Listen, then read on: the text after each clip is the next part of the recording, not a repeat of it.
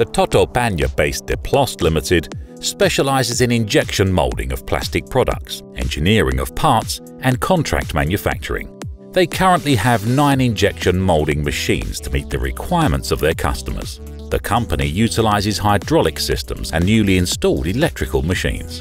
This is the third time that the company's management decided to invest in a FANUC RoboShot machine. We always place a great emphasis on sustainability and energy efficiency when choosing our machines. Our measurements show that the two electric FANUC machines we have are much more energy efficient than our hydraulic machines. Also, in my opinion, their sustainability is much better when we consider a period of 15 years.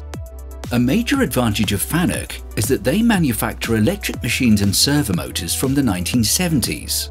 They do not outsource their production to external suppliers, they make their own products.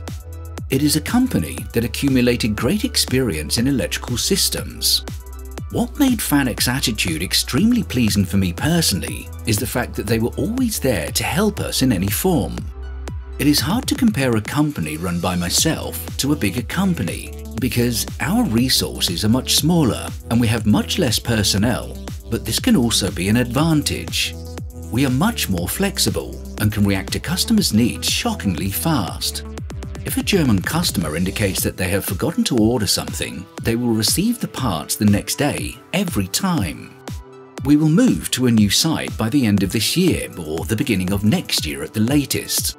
By relocating to a new production site, we will have to develop in the direction of automation. Based on our current experiences, I am confident that we will do this with FANUC. I hope that we will continue to have such good relations with them in the future.